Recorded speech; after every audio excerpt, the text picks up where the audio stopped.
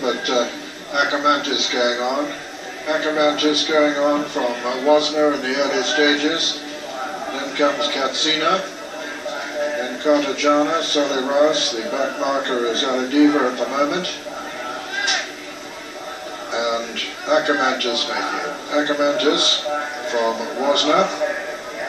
Then Katsina and Kartajana still a very steady pace. Saliras is fifth and sixth is Aladiva. Acamantis, Ray Cochrane from Ray Carson on Wozner and being followed by Pat Eddery on Katsina.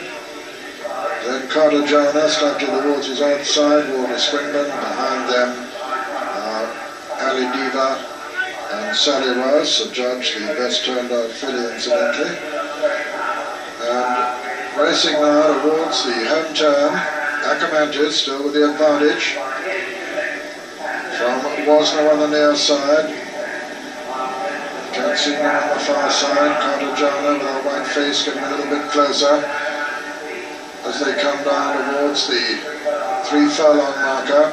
Acamantis from Wozner, Katsina. Kartajana getting closer all the time racing down to the two pole. Wozner and Acamantis from Kartajana towards the stand side now, coming to take them on, being chased by Sally Rouse. Katsina's got a lot to do. Inside the final quarter, Kartajana from Acamantis now as they come down to the furlong pole. Kartajana the clear leader now from Acamantis with Pat Eddery challenging over on the far side on Katsina, but it's Kartajana as they race up towards the line.